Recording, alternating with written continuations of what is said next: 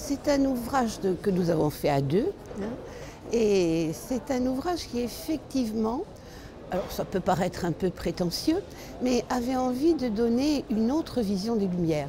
Parce que, euh, évidemment, il s'agit bien de défendre les valeurs des Lumières, c'est très clair.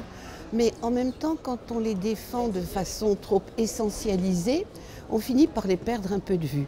D'où notre choix qui a été de faire un choix chronologique, euh, trois grandes périodes, euh, la, prise de conscience européenne jusqu'en 1750, jusqu'en 1780 ce qu'on a appelé les Lumières militantes, et puis les Lumières et Révolutions.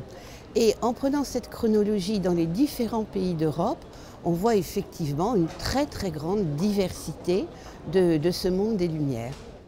Les gens qui vivent au début du 19e siècle ont tous été, enfin sont tous nés dans la période de- des Lumières traditionnelles et donc ont tous été fortement influencés pour ou contre les Lumières.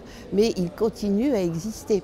Euh, si on prend quelqu'un comme Madame de Staël, la, la baronne pour laquelle j'ai une certaine tendresse, euh, ça se devine dans le livre, eh bien elle a commencé par un livre sur Jean-Jacques Rousseau. Euh, donc il y avait une continuité.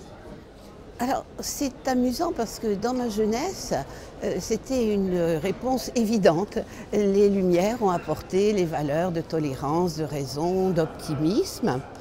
Euh, et puis, curieusement, de plus en plus, ces Lumières sont contestées.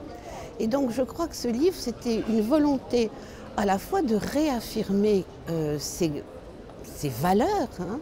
C'est pas par hasard si nous terminons par les, Iraniennes euh, qui lancent leur voile dans le feu et qui revendiquent le- le- leur liberté. Euh, donc c'était cette euh, volonté de défendre un héritage universaliste, optimiste, sans ignorer les débats, sans ignorer les critiques, mais en essayant de les surmonter.